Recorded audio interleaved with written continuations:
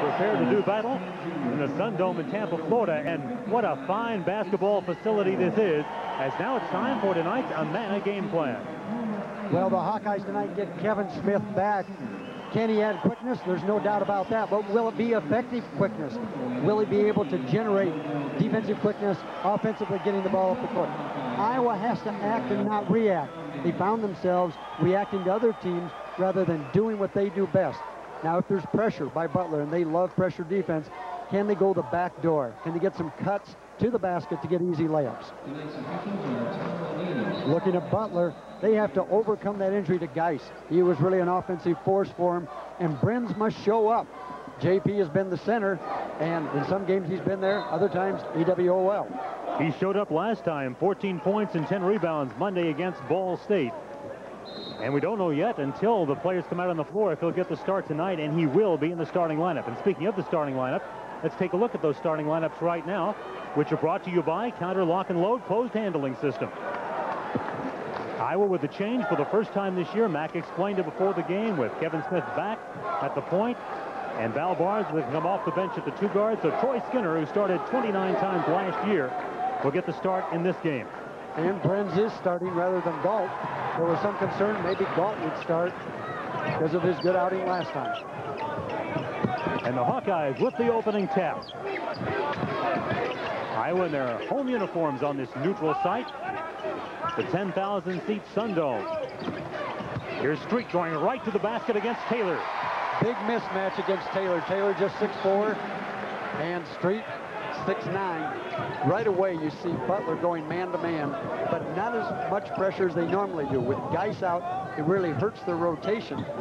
Therefore, they're not as deep on the bench, and without heavy or hard pressure, they'll try and sag off and save their legs. Brenz over Earl trying to tie the score, and Rodell Davis pulls down the rebound for the Hawkeyes, who are averaging 10 more rebounds than opponents so far. Moses. Brenz good position, and he has been aggressive on the first two trips down the floor. Acie lucky he didn't get a foul. First turnover against Butler. It's Iowa basketball. Here are the men working the ball game tonight from the Metro Conference, which is the home of South Florida, their new home, Tom O'Neill, Dan Chrisman, and Carol Allen. And of course, Chrisman and O'Neill also work Big Ten games.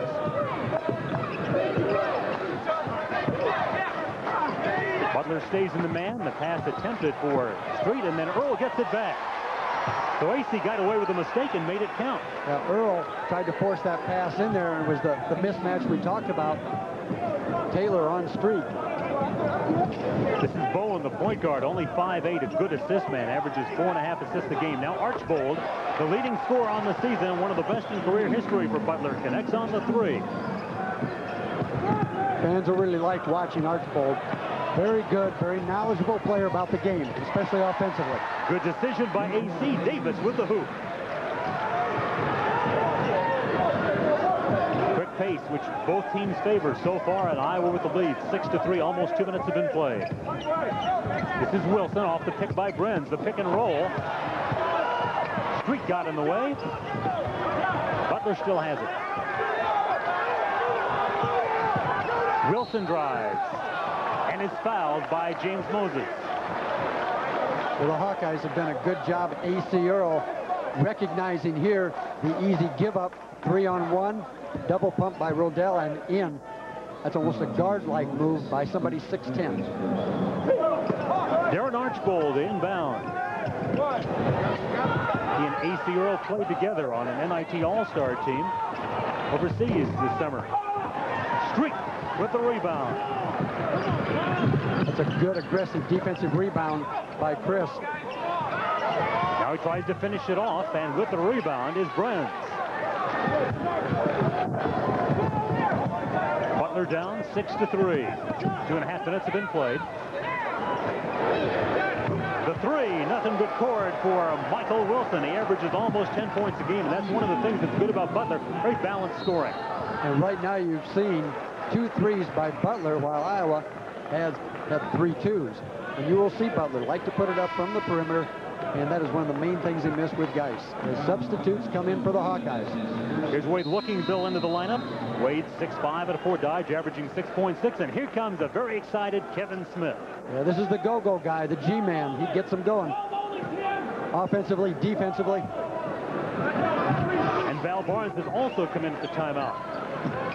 So it's Smith and Barnes along the back line. Winters is in, replacing Acie Earl and Lookingbill and Street up front. Street, the only starter in the lineup.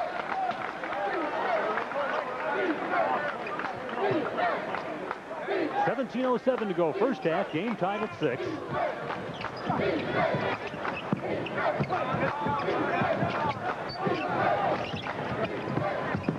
Smith, first shot since coming back. What a way to begin. One for one. And I'll tell you, you will watch him. He has got just great quickness. I'm not so sure he is not the quickest person in the Big Ten. I call him my Morse code player. Dots, that? dots and dashes. He just dots here, dashes there. Street with a foul.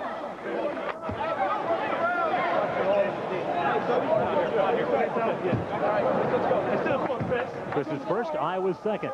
Butler doing a good job trying to get the ball inside. Here's a leaner off the glass and a foul. At the free throw line, John Taylor. We saw Kevin Smith hit his first shot. He was so excited about his debut that last night he got assistant coach Bruce Pearl Acie Earl to go over at 11 o'clock to a recreation center that the Hawkeyes have access to and shoot for an hour at 11 o'clock at night. That's how excited he was about this debut. I'll tell you, it's a routine they've gone through for a while. And both players enjoy the late night shooting, get them relaxed before they go to bed. Taylor's free throws tied the score. Barnes tries to untie and does. Now Val Barnes shooting that ball more relaxed at that off-guard position. Kevin Smith getting him wide open. Val's got to be pleased about being switched back to number two. Certainly performed well there last year. Enough to for an honorable mention, all Big Ten honors. Winters called with a foul as Brenz trying to go inside, and Iowa red-hot shooting to start the ball game, five out of seven. Well, Winters, when he comes in, is about four inches shorter than Acie Earl, but he's really a strong physical player. That time really working hard to keep Brenz from the ball. Gets called for the foul. And now Winters out, and Acie Earl is back into the lineup. Acie averaging 21 points a game to lead the Big Ten. Archbold to Brenz. Brenz averaging 13 a game, as Max started mentioned. Hadn't started the last two because he wasn't aggressive enough. He's come out aggressive tonight, and he ties the score at 10. Acie tries to back Brenz down, and a travel is called on Acie in so doing. Acie lost his balance while trying to post up strong on the inside. As he leaned backwards, they called him for shuffling the feet. Game tied three times. Butler has not yet had the lead, but a chance to take it right now with the game even at 10. Archbold muscling his way in, and Street with another rebound. Taylor hacks him on the arm. For John Taylor, his first foul, and for Butler, their second, while the Hawkeyes been assessed with three. Foul on John Taylor, his first Butler. And an official timeout is called. 15:47 left to play in the ball game's first half. Game all even at 10. We'll be back at the Sun Dome in Tampa right after these messages. Four in the game tied at 10. And yes, there are plenty of black and gold fans in the stands tonight as Hawkeyes are on the West Coast watching from San Diego, and they're here in person on the East Coast in Tampa. Lots of Iowans here. Well, when you look at the Iowa game, you expect them to go inside. Street and Earl are number one and three in rebounding in the Big Ten. Right there, inside, Earl the opportunity. Street sitting down right now, but those two are the new Twin Towers in the Big Ten. And for Butler, it's John Taylor with his second foul, and the team fouls are now even at three. So Acie Earl, who has done so many things well, but has struggled at the line, goes to the line, and he is a 53% shooter. Into the lineup for Butler, Wade Galt. He had started the last two games at center. Now with Taylor picking up the two fouls, Galt will replace him.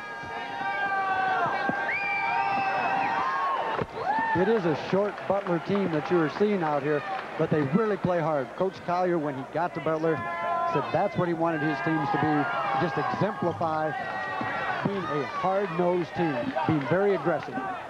Brenz pulls down the rebound. Butler a chance to regain the lead.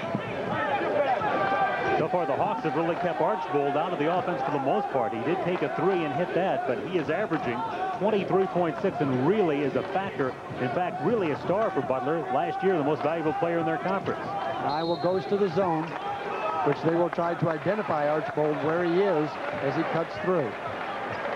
And the offensive foul called on Galt, and that will be his first and Butler's fourth. I'm sure Coach Collier there saying, I don't understand that one.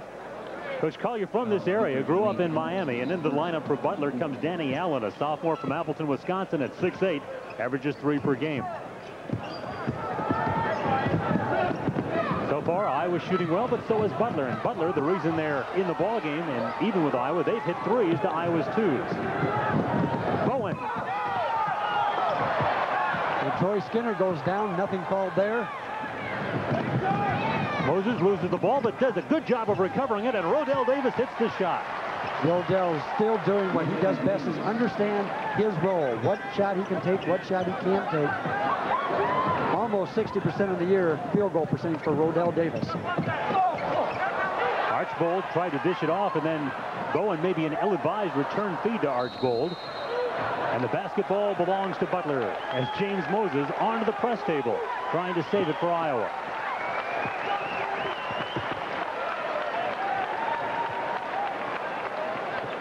Danny Allen to inbound for the Butler Bulldogs. Brig Tubbs has come in for Iowa, and he was harassing on the inbounds play.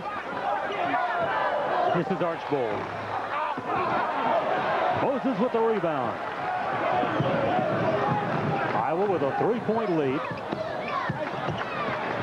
A little over 14 left to play in the first half. The game starting about a half an hour late because of the length of the first game. Won by South Florida, 96-77 over Northeastern Illinois.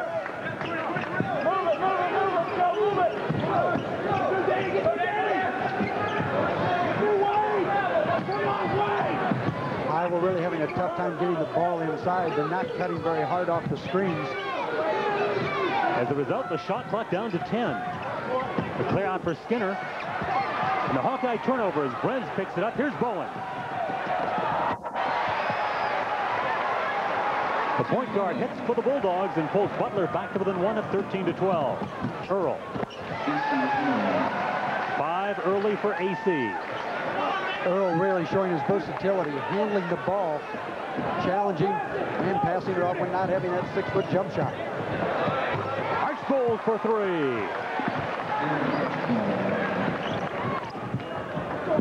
Make it a two. He was inside the three-point line.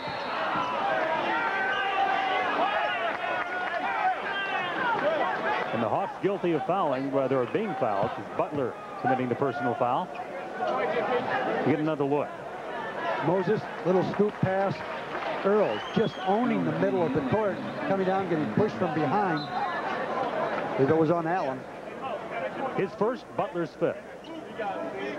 They see a moment ago, one out of two at the stripe. He's Iowa's leading scorer so far with five, and as Mac mentioned, he's the Big Ten in scoring as Tom Davis talks to his team. Bruce Pearl off to his right.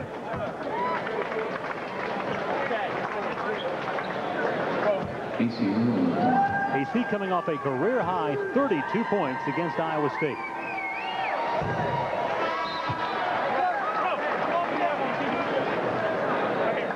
Point guard change for the Bulldogs. Michael Wilson comes in. He's a very quick player, and he will place another quick one in Tim Bowen. But that position is very critical against Iowa's pressure. Howard Bowen handles the ball.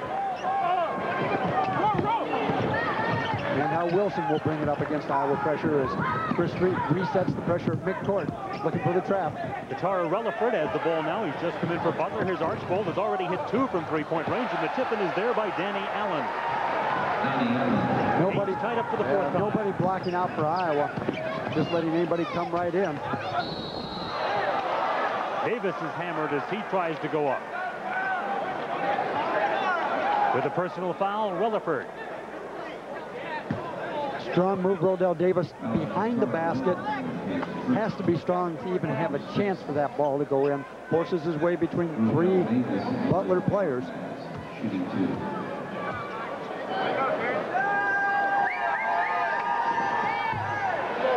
And the Hawkeyes are struggling at the free throw line. Iowa so far, two out of five. Rick Mawson. Mitch Walker looking at the action. Free throw shooting has been a problem for the Hawks this year, and so far been the story tonight. It's amazing when you look at Butler, you're looking at a team that two times out of the last three years have been national champions as a team in free throw percentage. Like Archbold was the top individual free throw shooter in the country last year. Here's Wilson. And he hits nothing but cords from three-point range. And the perimeter shooting has been very impressive for Butler as they take the lead. Davis ties it up. Oh, excellent pass by Kevin Smith. Rodell Davis just going right to the block, waiting to receive the pass. Five ties so far, trying to untie it. Allen. And Barnes plucks down the rebound. Smith and Earl a little bit off, and Butler has the ball and a chance to take the lead. That's one of those rusty plays right there.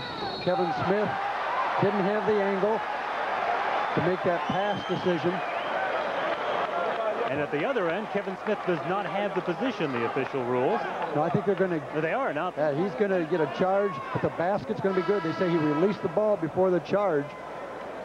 I'm not sure about that call. So the hoop counts, but a foul as well.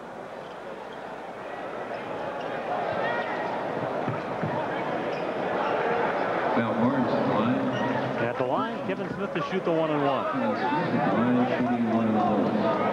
You know, Kevin Smith earlier told us that what he brings to the Iowa team will be defensive quickness. He said he, he's excited about getting back, but he's never nervous as a player. At 5'11 and 165, you better never be nervous when you go out among these big guys. And of course, a weakness last year was his free throw shooting. Now a lot more confident. Right there, two of them. Only a 42% free throw shooter last year, but an excellent job, and those are two opportunities. 21 all, and Hawkeyes doing a terrific job as Butler tries to inbound, especially Chris Street. Chris Street just knocked that one back into the student section. That may be five if they're not careful. Pretty close. Rutherford gets inside Winters. The Winters made him mess up the shot, and coming down with it is Kevin Smith. Street travels. Butler basketball. 11.54 to play in the first half. And this ball game all tied up at 21. It's been tied six times so far. We'll be back after these messages from your local. 3%, yet the score still 21-21. Brenz length of the court feed pulled down by Archbold. And Skinner gets all over him in the way, trying to prevent him from going to the basket, but in the process picks up the foul. I'll tell you, during the timeout as it ended, Archbold went over to the officials and said, Iowa is hand checking me. They're putting their hands on my hips. Right there was the example. He pleaded his case, got himself a foul. Archbold really a talented player and as Matt told you before the game, just in constant motion, but that time a mistake and Lookingbill makes him pay for it. Here's Skinner. Okay, that all started off defense. A great job by the Iowa defense on the out-of-bounds play underneath Butler's own basket to intercept and go. And that is a much-needed basket by Troy Skinner for his confidence. Skinner's bucket gives the Hawks the lead. And Butler has it deflected out of bounds off a Hawk, and so they still got it with a chance to tie the ball game with a two and take the lead with a three. Larry Tuck, Winters right there. He got to that ball because he's quicker than Acie Earl. May not be as tall, but he can react very quickly to a pass ball through the lane. Wilson, who's already got eight, now has 11 as he nails a three. Comes in averaging 9.6, but Michael Wilson is on fire and already has his average and gives Butler the lead at 24 to 23. 11.05 to play, first half. And you see the story there, and Butler really doing a good job with their three-point shooting this year and making it pay off in the win column. Here's Bowen, and the perimeter shooting has been red hot for Butler. Shooting by both teams. They've taken good shots, and they have made them. Right now, you've had Butler just shoot more from that three-point range than Iowa. Butler averages 82 points on the season, and Iowa almost 90, 89.9 to be specific. Coach Kyer was concerned about the depth of his team with Geis out of there. Would his other players be able to step up, play more minutes, and play hard? Well, in the first half, the answer is yes. Davis doesn't get the roll, and Wilson has had a terrific first half, comes down with a rebound. And Bowen puts it through. The point guard for the Bulldogs has six, and Butler's lead swells to five at 28 to 23. Wide open, Acie Earl. I don't think he realized how wide open it was going to be, and Coach Collier wants a travel, and Acie Earl might have. Instead, Acie with a basket and a chance at a three-point play. Skinner recognizes right away Acie Earl.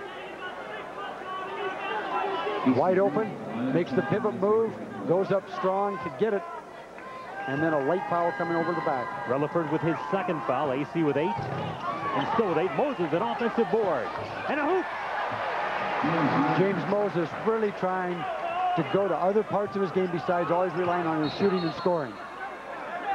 So in one trip down the floor, Iowa cuts the deficit from five down to one.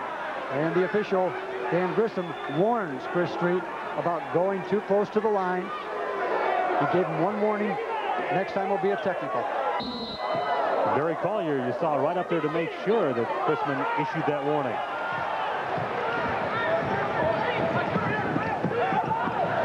Archbold for three. Relaford fouled by Rodell Davis as he grabbed the rebound. First foul on Davis. The Hawkeyes now guilty of their fifth. You know, Larry, the University of South Florida played the first game, won that, and you would think maybe a lot of the fans would leave. But I'll tell you, most of them have stayed to see a top 25 team Iowa and a spoiler like Butler. Butler not likely to be intimidated by the likes of Iowa. They've already run a game at Notre Dame this year.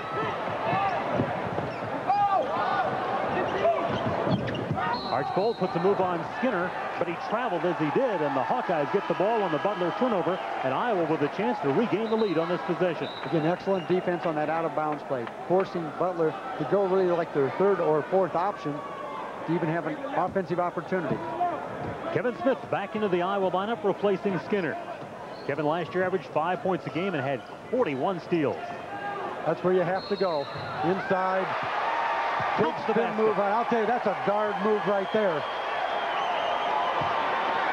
Indeed it is. 10 points for Acie and another shot and a three-point play. Acie Earl is going to draw more and more attention. Just a junior. As you interviewed Golden State scout, he is here. Other people will be in tomorrow. Acie with 11. He's been in double figures in every Iowa game this year. Now Val Barnes will come in as Iowa sets up the press.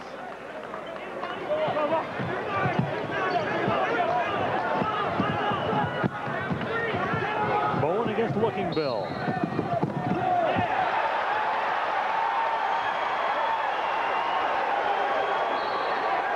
Foul. Whoa, and I'll tell you right now, Collier, he may go. He may get the second one. That's going to be close. Collier got nailed with a tee in a hurry. If he gets the second, he's gone. The third-year coach of the Bulldogs is highly incensed. That he may have received two, and I think he's been ejected. He has been. Two technicals called against Collier. The explosion was following the first one, and now he's out of there with his second one. I believe they were going to call him that first one for maybe being out of the box, the coach's box. He didn't like that call, and then he gets the second one. And he may come back one more time. he's going to talk to his assistant coaches. So Barry Collier is ejected with 9.51 to go in the first half as he leaves Iowa leads by a score of 30 to 28. Now, Bowen drove, but I think by then Collier was already up and shouting at the officials. And he is out of the box. They get him one. And Val Barnes going to the line will get four free throws. Barnes has just hit his first, so three more for Val. And of course, he has made 10 of 11 on the year Val is not shooting his threes well, but everything else inside the three-point line and those free throws, he has been canning with terrific accuracy. So it goes from a two-point Iowa lead to a five-point Iowa lead, and the Hawks are not done yet. Val misses that, but it's still an Iowa possession. Collier has been ejected. Assistants Jay John and Doug Mitchell take over. The Hawkeyes have scored seven unanswered points.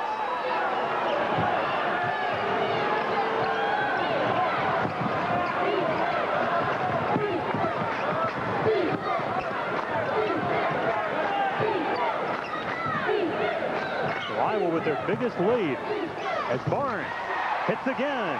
Well, what a difference having Val Barnes go to the scoring guard to the off-guard position. Great confidence, stroking the ball well, and it picks up his defensive intensity. Earl flags it down, and Lookingbill comes up with a loose basketball.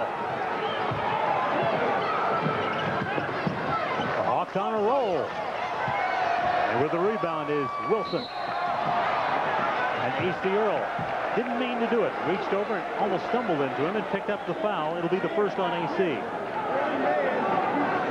Iowa likes to trap any opportunity. That time it would have been two 6'10 players trapping in that backcourt. Just a little reach.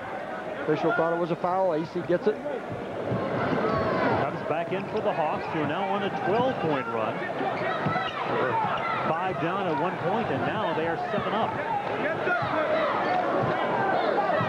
All that in a space of less than two minutes. Nine to go first half.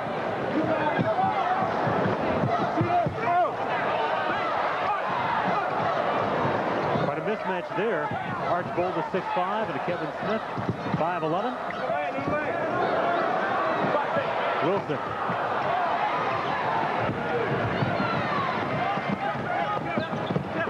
Smith delivers a beautiful pass to Lookingbill. That's two great passes by Kevin Smith. And I'll tell you, it will pick up the rest of the players on the team. They will work harder to get open because they know Kevin Smith is not going to score. He wants to give it up. And that is tremendous passing by the front line. Earl, Lookingbill, Tubbs. What a run. pass. Hawkeyes have scored 16 unanswered points. Iowa with a big lead, 39-28. They've done it all at once. It had been close, but now Iowa leads by 11 at 39 to 28 with 8.18 to go in the first half. Travel the range through Northwest Airlines, committed to providing Iowa business travelers with the best on-time performance.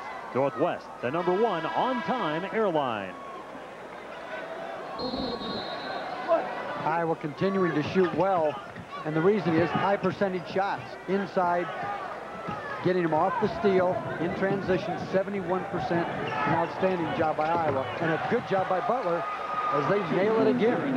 Archbold red hot from the perimeter.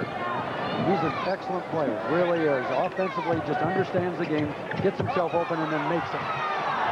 That bucket ended a 13-point Iowa run. And Val Barnes, just aggressive. He could not do that at the point guard. The point guard's responsibility is, of course, to get back on defense. At the wing, he can go to the offensive glass. Bren saves it. Acie and Brenz fight for it. And as Butler whistled for the foul. For Brenz his second foul. J.P. Brenz being aggressive. You'll find four Hawkeyes around the basket. That's what they're noted for, strong rebounding teams. They've led the nation once since Tom Davis has been the Hawkeye head man. And uh, J.P. Brenz draws a foul play. You're correct. So Brig Tubbs will go to the line. Tubbs just one out of six from the foul line this year. Brig averaging four. If he hits this free throw, he'll be right there. And he has really been a pleasant surprise, coming in giving Chris Street a blow for maybe about 10 or 12 minutes a game. Brig has hit that outside three-point shot. There's Bowen bringing it ahead for Butler. They try to clear out for Archbold, and Barnes fouls. First foul on Val. And that will put the Hawkeyes over the limit. The one thing that happens in the rotation, you just see Moses coming in for Barnes. You're finding now that Paul Lusk is not in the rotation, not getting any minutes on the, the 10 deep. Here's a big statistic on why Iowa's got this run underway. We talked about at the beginning of the game when Street and Earl, number one, number three in rebounding in the Big Ten. You need to go to your strength, go inside. Hawkeyes have recognized it and done a good job. You see, it, got a good look here at Darren Archbold. Look at that 84% free throw shooting. That's a slump. Yeah, he's down seven points from his nation-leading 91% last year. Davis beats Archbold into the front court and gets it. Davis with nine, right at his average, 45-32 the Hawkeyes. Boyd looking for Wilson, glad to save it. Brent's nice pass back to Wilson. Good hustle that time by the Butler Bulldogs. Iowa with 45 points and still seven minutes left to go in this first half. Look out. Acie with 13 his own, of his own in this first half. Butler just cannot find a way to combat the height of the Iowa team. Pass last touch by a Hawkeye, and so it'll be Butler ball. As we said, Acie Earl like a train down the middle. The shortest distance between two points, a straight line. That's what Earl ran from basket to basket.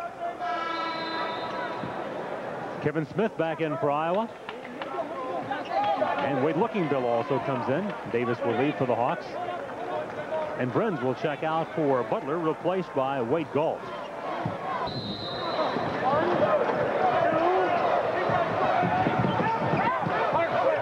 Archbold gets the return feed and a nice dump off for Galt. 47-36.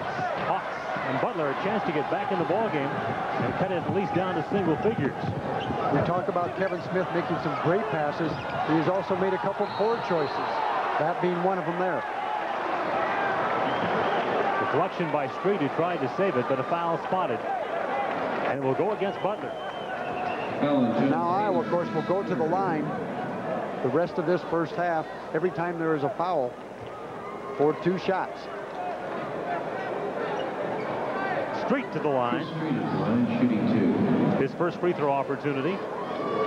Going with his second foul for Butler. They've now committed 10, so everything is a two-shot foul for Iowa.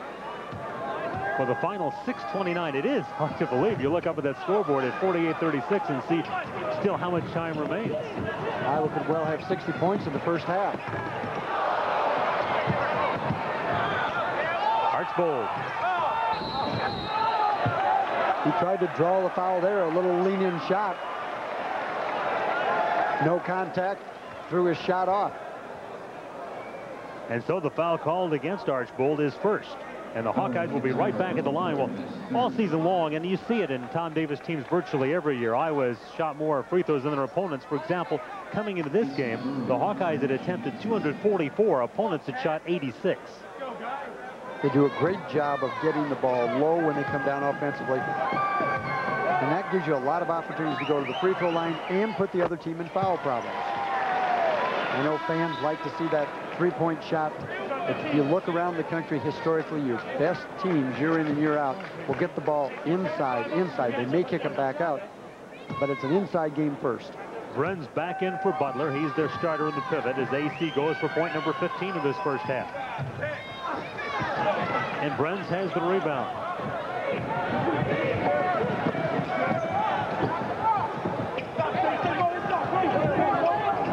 Butler really, you look at all the players on the floor, and for the most part, they're all pretty good shooters from either inside or outside. This balance is one of the things that makes them tough to defend. And Bowen shows you right there why. Yeah, just 5'8 or 5'9. He's a good matchup for Kevin Smith. His first three, but he already has 12 points, double his average.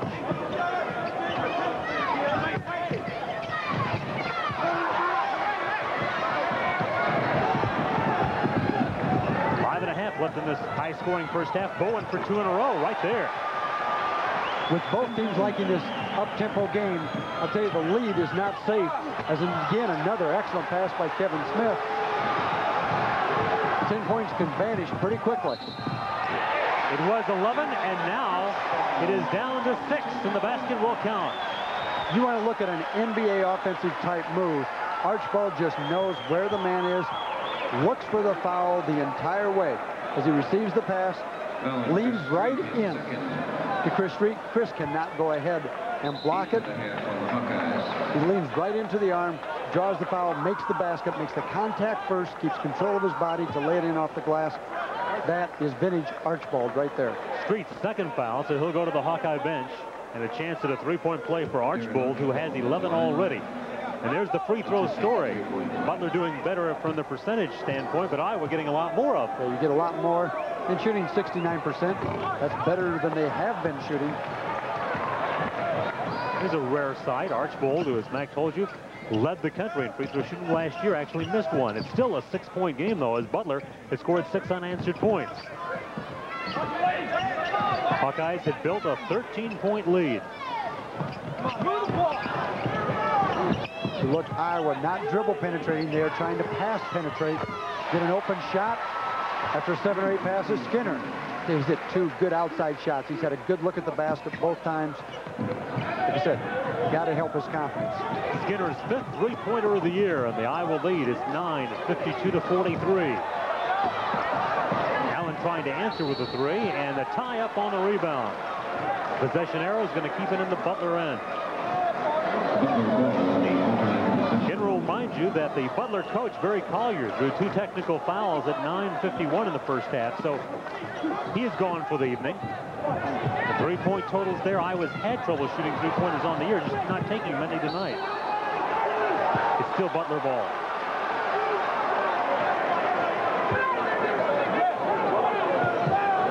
A couple of teams really going after it tonight. Uh, offensively, the players have got to like this game. Everybody wants to get up and down the court, look for good high percentage shots, both teams shooting well. That's the new brain trust now of Butler. Jay John and Doug Mitchell running the show now with the ejection of Collier. Good play by Brig Tubbs.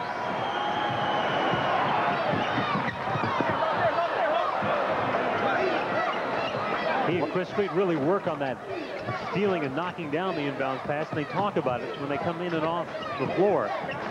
Tubbs may have learned something or has got some help from Street that time. Hawkeyes want to try and go inside off a hard cut off the baseline, see if they're able to get it in there.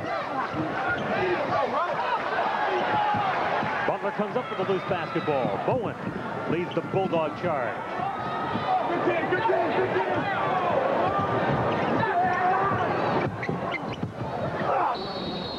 In a crowd, it is Galt, and he is fouled.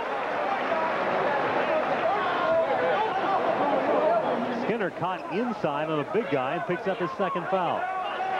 Well, Skinner and Archbold kind of went at each other early. Now Skinner drops down to give help. Well, there's no question about the foul. And I think Skinner also got a shot maybe in the mouth. He is bleeding and goes over to the Iowa bench to have the trainers take a look at him. It's running in the Hawkeye family. Earlier this week, uh, Coach Close, uh, one of the assistant coaches in a pickup game, got cut on the inside of his mouth, had about 12 stitches. So we hope uh, it's not that difficult for Troy Skinner, but he is heading off, it looks like, to uh, the training room. So Skinner will get looked at. So now Kevin Smith, of course, has practiced with the team and has a lot of condition, is now going to have to go for some stretch, perhaps. Or they may look now and move Val Barnes back to the point to give Smith a break. Wade Galt hits the first free throw, and now Moses replaces Davis before Galt can shoot his second. Galt didn't play much last year, but it started the last two games prior to tonight for Butler. And that move is a change of the rotation also. Moses now comes in for three position, so you've got Moses, Smith, and Barnes in there at the same time. The Hawkeyes have led by as many as seven. The current lead, rather, is 13. The current lead, seven. We'll be back. Start of the court. I'll tell you, you can just take one step from the bleachers and be right on that playing surface. Look at how the scoring breaks down so far. Front court scoring, Iowa's had the advantage. Backcourt scoring, other advantage to Yeah, Butler. The backcourt. So how long can you live with the outside shot versus the inside shot? That's the question to be answered. Good screens. And Moses tries to take advantage of it. Ren's got in the way. And I'll tell you, Winters just flew up over Allen's back. got a great tip. and The ball went in. He exploded up there for his first two. Hawkeyes have been over the 100-point mark twice this year with a high of 108 against UNI. Butler scored 100 once this year. And both teams are certainly on pace to do that. We have an NBA-type score. I tell you, Iowa's even getting in that with the zone defense. A lot of times that'll slow a team down. Where Winters, I think, is going to be called for another foul. And for James, it's his second. But the zone generally will cause a team to slow down their offense. But with Butler, since they've been shooting the three so well, it's almost hurried their offense. They've come down, got a good look at the basket, and put it up. At the free throw line, Wade Galt. Two out of two tonight and 10 out of 12 on the season from the line. So the senior from Logansport, Indiana, not the guy you want to foul.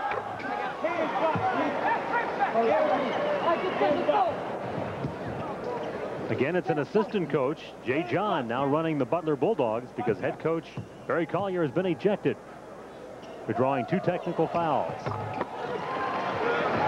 Galt still perfect at the line, 54-47.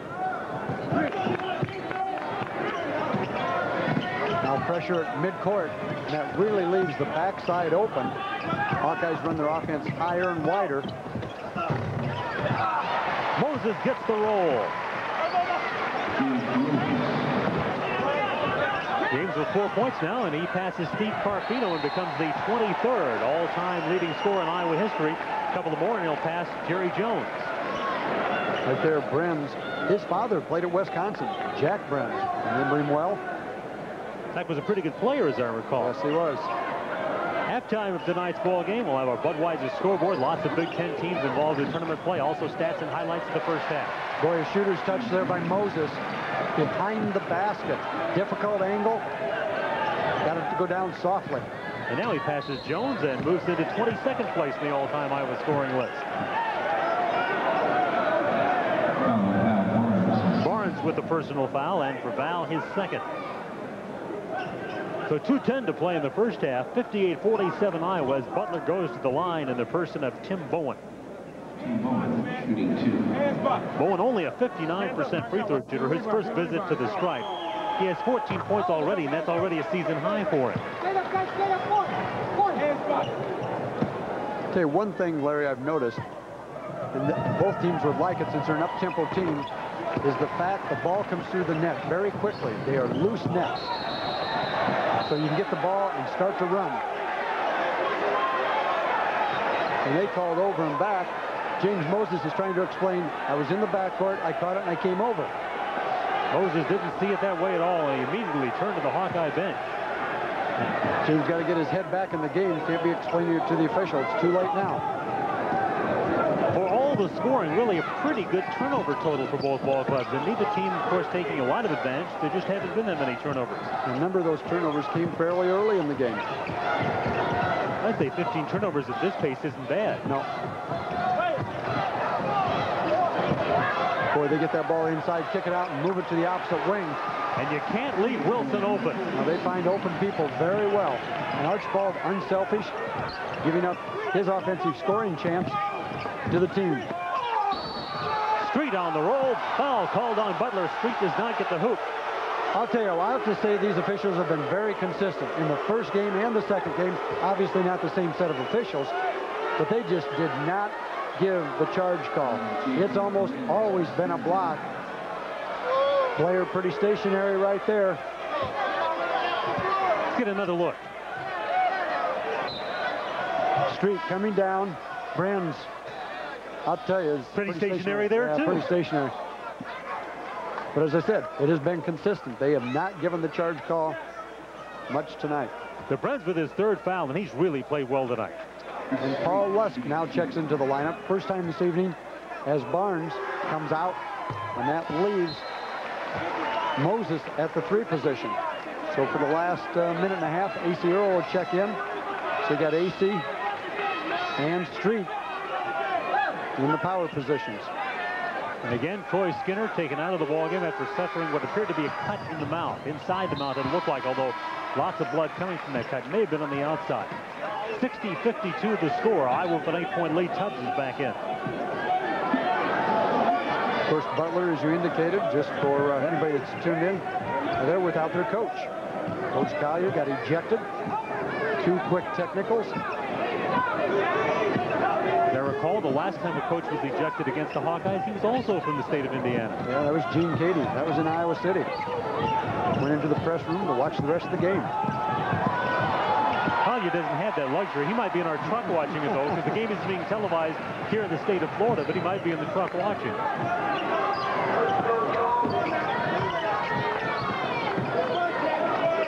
Butler, an NIT team last year, so it's no surprise they're giving the Hawkeyes a challenge.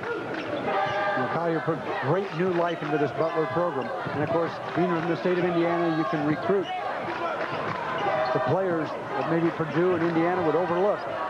Acie double team shoots anyway. Almost got it to roll down for him, and Rutherford's got the rebound.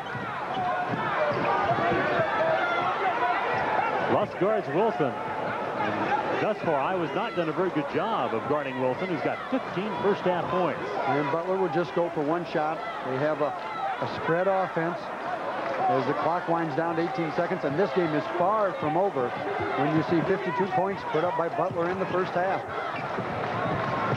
Is Wilson still hot? Not this time. Rutherford keeps it alive, but Acie Earl comes out with it. Smith. Earl, yeah. Earl, our follow-up at the buzzer. A nice finish by Acie to give him 16 first half points. Get another look at that one, Mac. A spectacular finish for Iowa. Kevin Smith looking right up at the clock immediately after getting the ball. Sees he had seven seconds.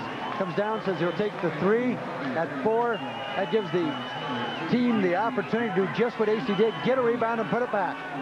It's the kind of game the fans love. High scoring, 62-52. Hawks have the lead. We'll be back to take a look at the first half right after this. Kevin Smith. So there's Troy with a bandage. He had 10 stitches after that cut on his chin. 10 stitches should be able to play. Yeah, like like an old mule skinner, though. I think Troy will be back in there. He'll be ready to play. Anybody who's tough enough with Parasale ought to be able to shrug off 10 stitches, don't you think? Oh, yeah. And he did that on this trip to Florida for Iowa. So that one change from the starters as Skinner started the ball game. Smith is now in, and Acie Earl picks up where he left off with his 18th point. He had a career high, what, 32 points against Iowa State. This type of game will allow him to set another career high. Going for the steal and getting it is Davis. He's not going to get in foul trouble because Butler will not take the ball inside. And with his height advantage, he'll be able to get offensive rebounds, take it in, and score. You mean like that? Like that.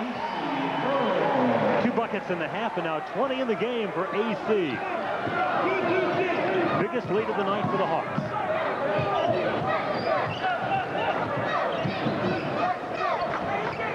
Right there, you see the, the shake and bake of both the defender and the offensive player, Kevin Smith, staying right with Bowen. Brenz backs in on Earl, and Acie has his second block, and Street has the rebound. Once again, Acie Earl just begging for the ball because he knows he can score. Boom! What a start. Three shots, three baskets. In the half for Acie, and it's 68-52. I'd say when you score like that, you don't get tired either. You want to stay in the game as long as possible. Acie has that scorer's mentality, thinking he can score every time he gets his hands on the ball. So far, that's been pretty true. Right there were teammates against teammates in the NIT European Tour last summer. Archbold challenging Acie Earl. Earl goes for the jam and finally missed one, and that was the closest shot he'd taken. Moses tries to save. Dr. Johnson saving uh, James. And I'll tell you, Acie really upset with himself. Up there for the dunk, an easy one. Just hit it off the back part of the rim. Michael Wilson picking up the foul. His second. It's the first call against either team in the second half. Here's Acie again. Yeah, he said, I'm taking over. Yeah, he made up for it. Eight points for Acie in the first two minutes and eight seconds of this second half. And it's 70-54, Iowa with their biggest lead. And so Butler will have to half. Acie Earl has got every one of them. Yeah, you can turn off the heat here in Florida and turn on the AC for Iowa. Ooh, that's almost poetic. I'm quite impressed. Moses, great hustle. Let's see who winds up with it. Well, nobody. Jump ball. But Butler has got the possession arrow. Lottie Street making the tackle. Reminds me that a lot of people watching from San Diego tonight out there to cheer the Hawkeyes in the Holiday Bowl. We hope that they're enjoying the telecast as well as everybody back in the state of Iowa. And Iowa's really, with Acie dominating, had the way of the paint inside. Well, it's a party time in Iowa for the weekend. Friday night, Saturday night, and of course next Monday, the Holiday Bowl. Archbold backs it home. Butler can score points in bunches too, so though they trail by 14, don't count them out of this one. Underneath it's Davis. Rodell just a steady, steady performer for the Hawkeyes. Hawks build the lead back to their biggest at 16. Here comes the lean-in shot. Although the outstretched arm of Acie would not go down, Taylor puts it back through. Another offensive rebound for Butler. Boy, they're getting them on hustle because they don't have the size. In fact, they're being out rebounded on the average this year, a half a rebound a game, even though they are 8 and 2, an unusual statistic. Acie misses his second shot of the six that he has taken in this half. And I'll tell you, Chris Street just got hipped out of there, and I think they're going to call the foul on Street. he doesn't believe it. Let's see what happened. Acie will trickle that ball over. Now watch Street. Chris Street, his third. Really couldn't tell, but he got hipped out as he tried to go up two players sandwiched and called him for the foul. Street's third foul. Butler tries to cut the Iowa 14-point lead. Archbold will try to do that. He kind of hit that one off the palm of his hand. No rotation. Moses for three. Lookingbill for two. Moses shooting it off the break. Iowa offensive players going right to the glass in case of the miss. No, John. Smith rides Archbold, and Smith gets called for the foul. Well, Archbold really looks to the basket when he gets the ball, and if there's any opportunity to drive it to the hoop, he's going to go because he wants to get fouled at 91%. Being a great free throw shooter, it's an easy way to pump up the average. Tubbs, Lookingbill, Barnes into the Iowa lineup. And like we said, like an old mule Skinner, here comes Troy. Ten stitches in his chin, no problem. He's a tough competitor, has been ever since he's been in Iowa.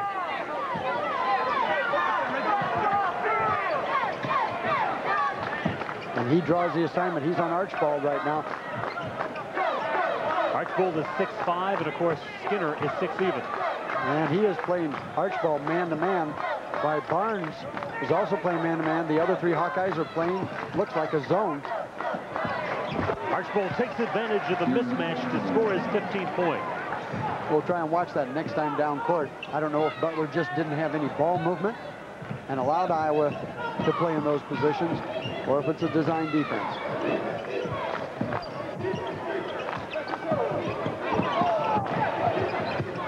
Tubbs gets the inside pass. Barnes will try. Six-foot Barnes comes in there and takes it away from Lookingbill. Tubbs and Earl to score. And I'll tell you, I think Val's got to be happy to be at that off guard. He can be a much more active player scoring-wise. Average 7.6 playing the point. Has got 11 tonight. His first game at off guard. You're right. Bowen. He's got 15 points, and it's 76-62. The Hawks lead with just under 15 to play. But the four people drop on Earl, and he can still go up. And it goes to Butler. James Winter is about to give Acie Earl a breather. Acie went a long time, over five minutes, before getting this break. But that's what he's going to have to do. He's going to have to give you 30, 32 minutes in the Big Ten. If the Hawkeyes hang on, they face the University of South Florida, the host team in this tournament, tomorrow for the championship. And we'll be on the air at the same time. 8 o'clock in Iowa. Tubbs fouls. We talked about Acie Earl and Darren Archbold traveling together on the NIT All-Star team in Europe this summer. A third teammate is Radenko Dobras, who plays for USF, and we'll have a chance to see him tomorrow if Iowa holds on to their lead, and he is quite a player. Six foot seven point guard who really looks to score. Six foot seven, 24 year old point guard from Yugoslavia. Archbold again driving. Iowa players not able to slide over. You've got to immediately start with a drop step to the basket and then slide over to the baseline side to stop that move. Now Val Barnes moves his left foot quickly, and he doesn't. He almost gets across with his right foot. Back to live action as it comes out to the midcourt line to Bowen.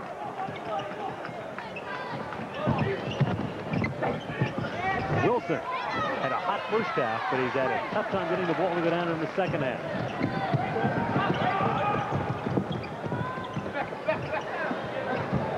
Troy looks for that shot right there. Has hit a three earlier, not this time, and it's Butler ball. 76-62, Iowa with the lead, 14.01 to play. And into the lineup for Butler comes Wade Galt. And Troy Skinner, again, a nasty cut on his chin, 10 stitches, but shaking it off and able to play. See if Butler looks for Archbold again. Try and get him at the free throw line or into the offense more. Iowa has really not done a good job of checking him out as Iowa goes to the zone.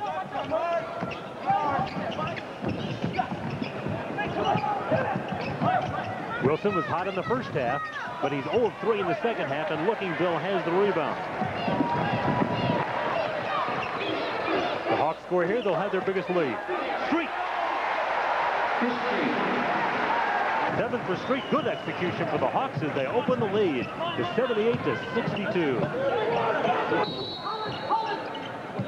Here, you talk about cleaning up post play. That's what the officials have wanted to do. It's a point of emphasis in the rule book this year. In this game, they have really called what you would have to say are cleanup type fouls. Winters just had his arm on the back. No pressure. Called the foul. Very similar to what happened to Brig Tubbs a couple times down the court. You saw the Butler bench a moment ago, minus head coach Barry Collier. He has been ejected. Winters, by the way, with three fouls tonight.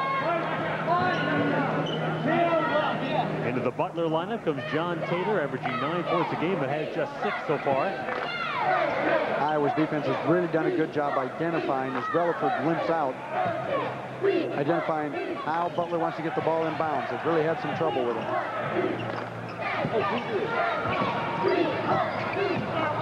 Off the sneaker of Galt, and it's Hawkeye basketball. Game being played in the 10,000-seat Sun Dome in Tampa, 12-year-old facility, an air-supported fabric dome, much like UNI's dome. Yeah, it is, only this is designed strictly for basketball and concert. Smaller than the Unidome, but the same air-supported roof. And I'd say it's a great place to play college basketball. Noisy, as we said at the beginning of the game, they have fireworks going off inside here, and uh, they got some great activities to create interest. And, of course, you're in a pro town. Tampa here, Tampa Bay Buccaneers, deciding what coach they want. You Not Williamson him. fired him today. yeah, fire him. You know, get the next one. You look at that turnover statistic, Mac. I don't know that Iowa has a turnover in the second half. I don't think so.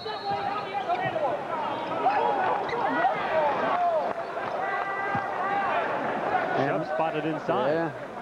Tom Davis doesn't believe it. He wanted a defensive foul on Butler. Looks like they're going to call an offensive pushing off foul. His first I believe it'll be on Acie Earl. And that is Acie's first.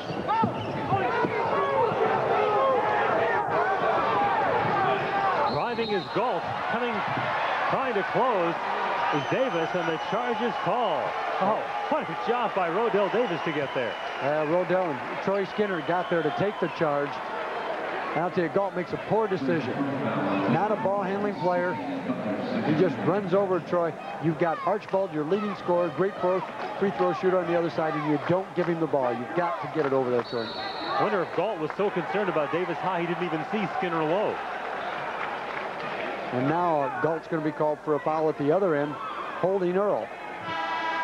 Galt with three fouls, two in the last 20 seconds, and Kevin Smith just eligible tonight, comes back in. Oh, Which he was always eligible by NCAA and Big Ten standards. Had some coursework to clear up at Iowa, and he's thrilled to be back. Yeah, he said he just needed to take one course, get it completed, get a good grade. And he told us he's very happy to be back.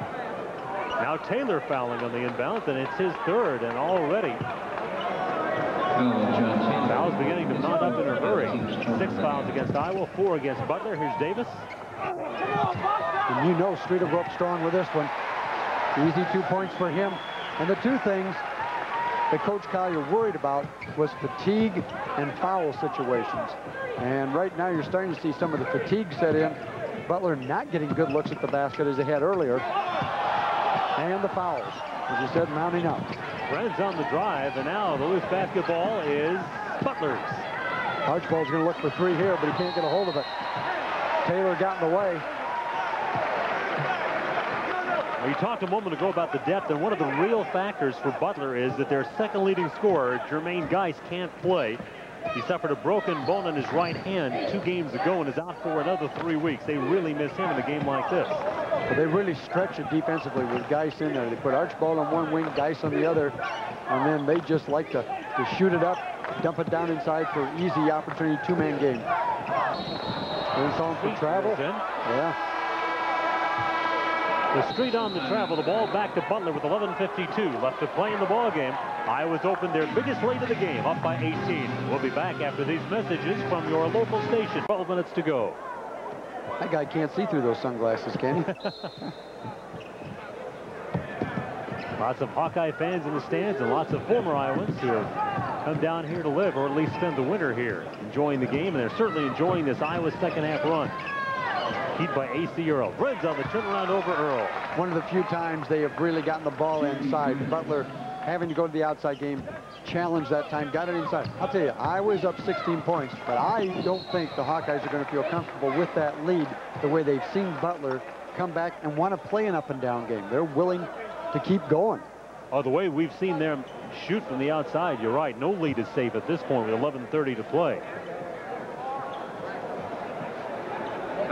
South Florida waits in the wings. They won tonight 96-77 over Northeastern Illinois. They will bring a 7-1 record into the title game tomorrow with victories over Florida, Florida State, and Wyoming, among others. Well, you really got to understand that they have won the state of Florida basketball championship by beating Florida and Florida State. Now, those are two very good athletic programs. And USF said, nope, we're going to win it. Backing in, Acie. He traveled. Butler with the ball, 11.05 to play, and they trail by 16. See, that one looked like a pretty good move. He spun and just lifted that back foot as he shot. That should not be a travel. And the block almost by Acie. I think he may get a piece of it, but Tubbs comes down with a rebound. Certainly altered that shot. Brenz had real trouble getting over the outstretched arms. Archbold with the rebound. He rebounds very well for a player who is only 6'5". In fact, that's what Acie Earl really picked up watching him this summer. And they played together in the NIT Select team.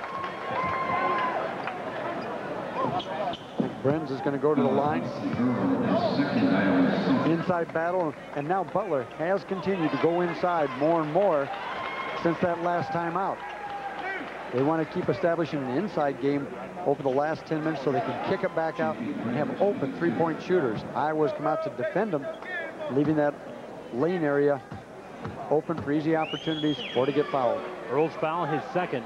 You mentioned earlier that Brenz has really struggled just trying to get shots tonight. He has only two baskets in this game, and he's averaging 13. So usually he's a lot more of the offense than Acie Earl has allowed him to be tonight.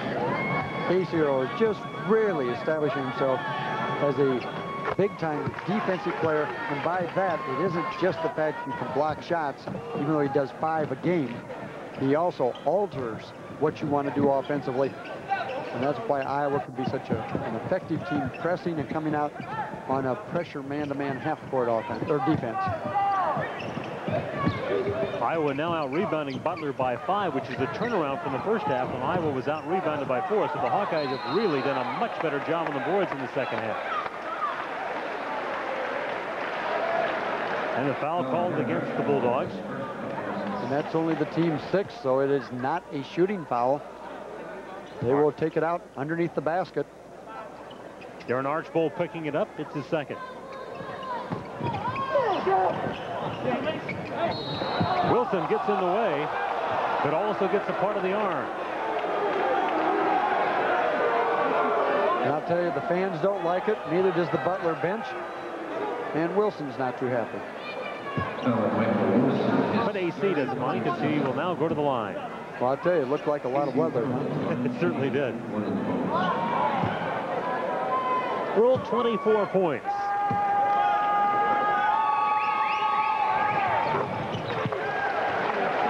Acie Earl has done a great job tonight being an offensive player. And I'll tell you, he said, I kind of like play like a forward in a center's body, but I think like a guard. And I think that's pretty descriptive Very of. Acie's own game, and Acie it. Because he looks to pass, he can ball handle. You saw that earlier in this game. And he is not a, a wide body type post player. He is more like a, a forward body, but Iowa plays him at the post position. So very accurate statement by Acie. Really tells you the mindset that he brings to basketball. And he's one of the smarter basketball player mentality people that Iowa has. I'll tell you, he and Kevin Smith really understand the game, what they want to try and do. And when I say that, what I'm talking about are things like angles, where to set up a defender, or defensively, how to funnel a man into a difficult defensive or offensive situation. That's what those two players understand very well. Bowen draws the foul, and the fans, I don't think, are so much for Butlers. They are anti-official at this point in the game. Yeah, the whistles have started to come out. Uh, they've blown quite a few here in the last three or four minutes. Winters his third point, and it's 83-68 Iowa. 9.58 to play.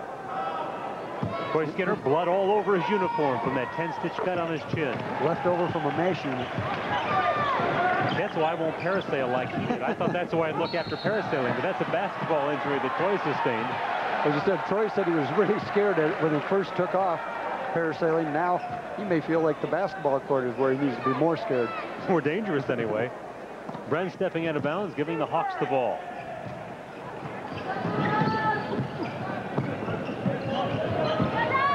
At this level, that's how you have to play. Got to play tough. You expect some of that happening. You said it earlier, Troy has played his whole career without any regard for his body. He probably leads the team in stitches drawn over the last four years, wouldn't you think? Yeah, I think he's the Iowa human bruise. Bowen it up the floor for Butler all the way, and Winters has the rebound. That's what happens when you get tired. You really don't make a good choice. You just make a choice to decide to get rid of it. He went one on four with nothing. Now it's two on O, and Wilson finishes. And the lead back down to 14. We say again, you've got to understand this Butler team, 14 points is not a big deal. They will go ahead and play with you offensively. And Troy Skinner, working his way up court, ends up getting fouled. Troy a little mad at himself, not being able to get it in scoring position. Skinner Brenz's riding him. Yeah. Brenz just gets a saddle, puts it on him. Four fouls on Bren, Skinner to the line. He's not been there tonight, but on the season, he's 26 out of 32. That's 81%. Bren's the first player for either team with more than three. Galt will replace Brenz. And Moses will replace Lookingbill. Once again, you see Moses going to the three position as you see the blood Shooting one of the most. from the chin. It looks like he's wrestled one of those Florida Gators, doesn't he? Skinner with six, and the Hawk lead is 15.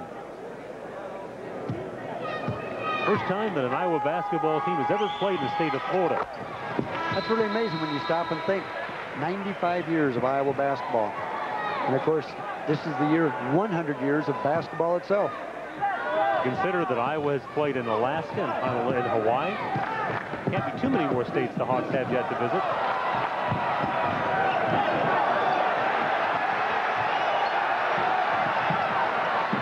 This is Taylor. Boy, Winters boy. has really rebounded well. Yeah, he took that one right away from Galt. Galt inside position. Winters just came over the top. And Moses finishes it off, his eighth point. And Iowa now grows to an 18-point lead once again, and this equals their biggest.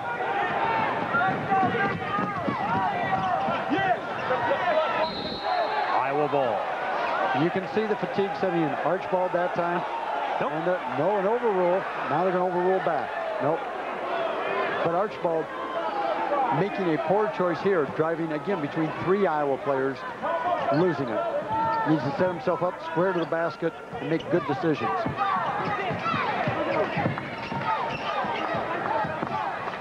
Again, it's Wilson on the drive. Michael Wilson, 16 first half points. He now has six second half points, but really got those just in the last couple of minutes. Iowa did a much better job on him through the first 10 minutes of the second half.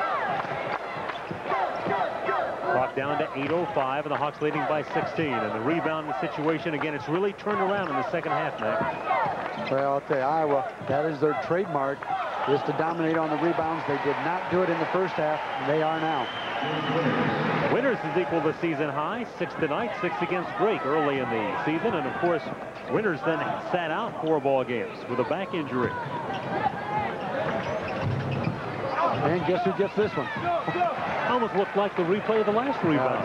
he's a very physical player. He's getting a little tired right now. And that's a, a quick extra hop, a skip. And Kevin says, me, travel? Okay. And the answer is yes. And so we have a timeout. 7.32 left in the ball game. The Hawkeyes trying to win. Lots of Iowans in the stands here at the Sun Dome in Tampa. Hey, Davenport. Hello there, huh? Quad Cities. The drive by Kevin Smith. Acie gets pushed down, and Bowen comes up with it for Butler. Here's Wilson. That was good defense by Kevin Smith, even though Butler scored took away the point guard, his drive to the basket, then stepped in position and made the man shoot a four-foot jump shot. That for Wilson, a career high 24 points. The only way to do these things is to have quick feet. And that's what Kevin Smith brings to this Iowa team. Spoke of the Quad Cities a moment ago as we take a look at the leading scorers in the ball game. Acie Earl and Michael Wilson. Of course, Val Barnes hitting again. And that ball almost goes out of bounds. Acie Earl retrieves it. As you said it might at halftime, that's really become a factor, and the Hawkeyes have simply worn the Bulldogs down in the second half. Moses goes for the reverse layup and gets fouled. Are they going to call it on? I guess they're going to call it on Acie on the push. Good bounce pass inside. Moses uses the glass. That's a shot he likes a lot. Very effective. And now I'll tell you, that's that's got to be a hard one to see. That official had to look through three players to find Acie on the foul. But he did. Acie's got three, and the line goes J.P. Bruns mentioned Star State the Quad Cities a moment ago. Butler Sports Information Director Jim McGrath spent a lot of time in the Quad Cities. People may remember him. In the early days of the Quad Cities Golf Tournament, he was the PR director and also was the SID at Augustana College. Of course, Augustana College, as you see Acie Earl put that shot in, it was Acie Earl's father that played football at Augustana. That's 28 for AC, and that's the end of the line for J.P. Bruns. That's a strong move right there. Got position. Bruns really tried to hip him out early before he even got the ball. Unable to do so. And then Earl just takes it home. Bruns out with six points and still 6.25 to play. So if Acie has been unstoppable with Brenz leaning on him all night, Butler's really got a problem trying to contain Acie now as he goes to the line in quest of his 29th point getting close to that career high.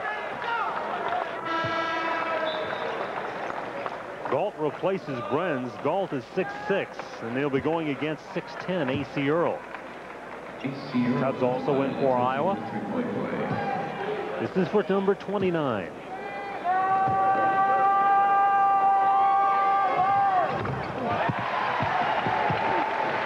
Acie's free throw shooting has gotten better. He's at five in a row.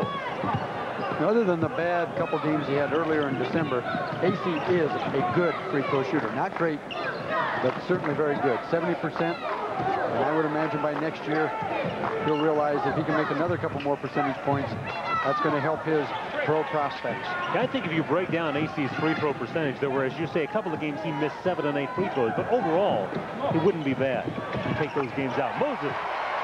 Nice shot. That one floated up there. It looked like it was going to be short. Just kept going. The Hawks are three away from their third 100-point plus game this year. Skinner leads the charge. Nice pass to Barnes.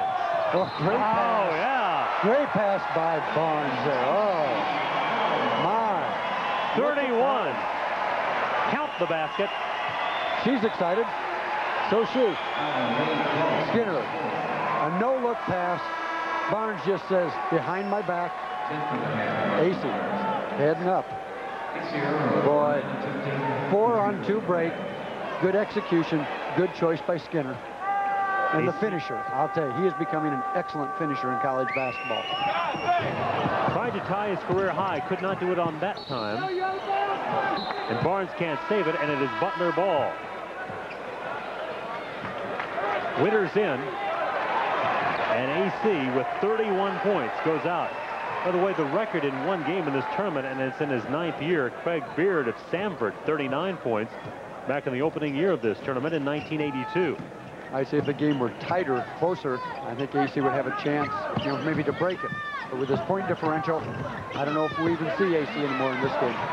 Another one tomorrow night against the University of South Florida. They'll come in with only one loss, and as we mentioned, the mythical state championship in Florida. Davis.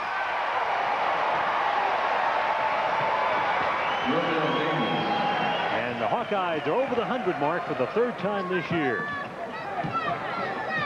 Course, they're high 108 against Northern Iowa. Archbold. Uh, Prague had the ball and then got it stripped from him. Got to bring it down strong.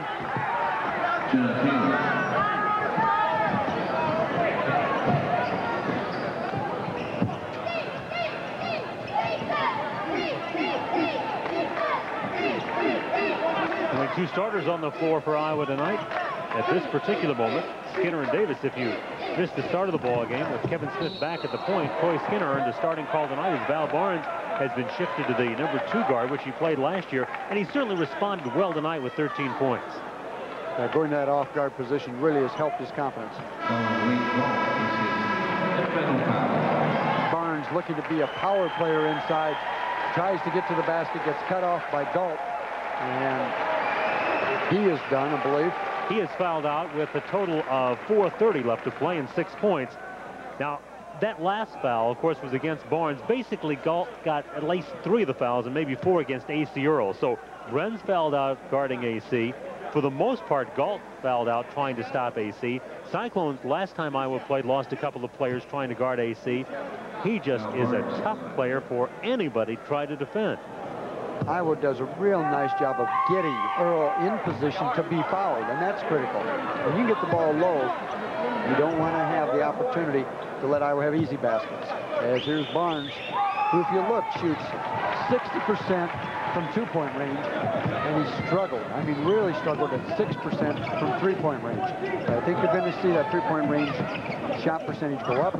I'll tell you, the 60% from two, though, is awfully good. That's one of 16 at three-point range.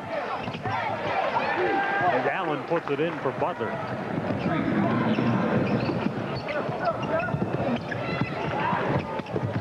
Chime is coming to the lineup for the Hawks. Bill Chime wearing number 30. It's just his third ball game. Of course, he was redshirted last year, freshman out of Houston, Texas. Now you're seeing Lusk in there at the three position with Webb playing a five position. Webb in for the first time in the ball game. He is 6'8 out of San Jose, California, averaging 1.6. Archbold shooting there, but I think it is too late now. Hawkeyes up 20, 3.43 left to go in this game. Seven and a half and 18 in the game for Archbold. Hawkeyes going for a season high now, six points away from that, leading at 102 to 82 with 3.30 to play. Again, Butler playing without head coach Barry Collier. He was ejected 9.50 to go in the first half. Got back-to-back technicals.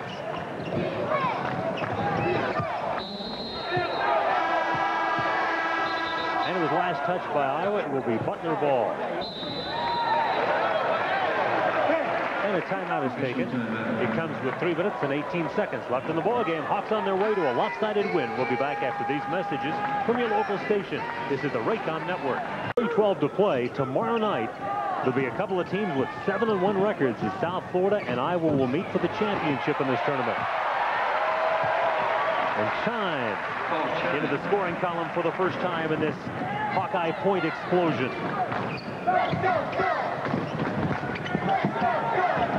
Kevin Smith likes a challenge. He's taking Archbold right now. By the way, that bucket for Chime, his first field goal of the season. He'd scored three points on free throws prior to the night. Kevin Smith drawing the foul. Kevin wanting Archbold really trying to move those feet, cut him off. Gets called for a little bump and reach. Archbold with 18 tonight. The Hawkeyes have held him below his average. Really, he's had to work hard for the now 19. up, guys. What they're about to suffer just their third loss of the year. Them to Big Ten teams. Indiana beat them 97-73, and Purdue turned the back 76-70, although that was the game that Butler had the lead in late.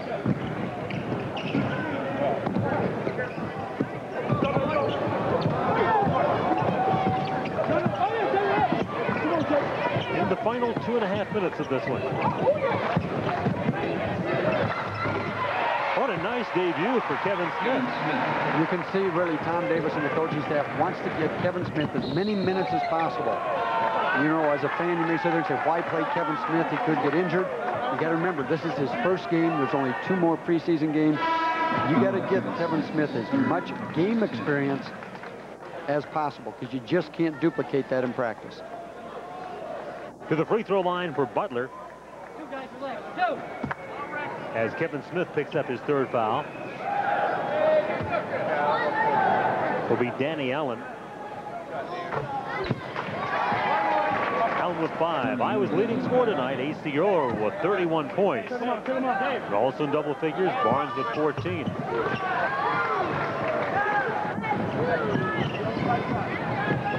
Lopsided win for the Hawks tonight to go to 7 and 1. Again, tomorrow they'll take on a team with also a 7 and 1 record, the South Florida Bulls. They'll have the home floor advantage, and they really do have quite a following, even though the students are on break. Webb at a crowd puts the shot in. He is fouled and counts the basket. That's the type of aggressiveness Webb needs to play with to get back in that uh, rotation of the top 10. Be a factor inside, be strong, go up scoring, and go to the free throw line and make it. And basket by Webb means everybody who has played for Iowa tonight, and that's everybody who's eligible to play. But Lusk has scored. And of course, assuming that Bartels... And here goes Paul. He's going to have the opportunity to score now. Up for the layup. Yeah, there it is. Now everybody who's played has scored. And Paul really has just been frustrated lately. He's really tried to force his game a little bit rather than let it come to him. And that is just the type of competitor he is. He tries to take everything he can to the basket. Sometimes you've got to realize you've got to stop, take that outside opportunity. Hawkeyes need another point to set a one-team tournament record in this nine-year event, the Tampa Tribune Holiday Invitational. The scoring, and there he got it. North Texas State had the old record back in 82. I'll tell you, I'm really surprised at the number of points that Iowa put up. And they did it with ease. They were really patient on offense. They didn't get that many steals off the press, easy opportunities. They just shot it well, taking a good percentage shot. Beauty! Like that one. Smith to Chime. Bill Chime getting his most extended playing time, and I think having a good time. They're trying to steal another one here. Now you just play it out. Last 35 seconds of the game. Smith going to look for another assist, or is he going to take the shot? Now he's going to brick this one. Hawkeyes highest point total of the season. Here's Lusk. Now there's no reason for Paul to really take that shot. That's when you bring it out, work it around, and get a good open shot. Maybe even get it back inside again. Final minutes of a big, or final seconds, I should say, of a big Hawkeye victory coming up. Here's Chime again. Right, right, right. And this game is now history. They're going to count it, and I'll guarantee it was after the buzzer. well, it's a good thing that that didn't decide anything because that was not a very good call, but it doesn't much matter. As Iowa puts Butler away 114 to 90. Highest point performance of the year for the Hawkeyes. And there's a young man Yeah. who's got to be awfully glad to be back. And did he respond tonight? Like we said, he's the Morse code player out there. Dots and dashes, boy, I'll tell you, he's a quick little one and adds a lot to this Iowa team. The Hawkeyes had plenty of dots and dashes, and Kevin Smith provided a number of them himself. Jay Webb walks off. Everybody who dressed played tonight. Everybody who dressed scored. And Tom Davis has got to be happy with the total performance, top to bottom, of his basketball team tonight. Troy Skinner got a 10-inch cut in his chin, but he came back, didn't let it affect him. And all in all, the Hawkeyes, an impressive show as they roll to victory number seven, a 114 to 90 decision over the Butler Bulldogs.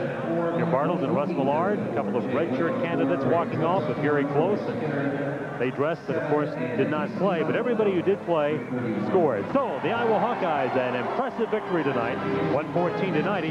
There's more from Tampa, so don't go away. We'll be right back.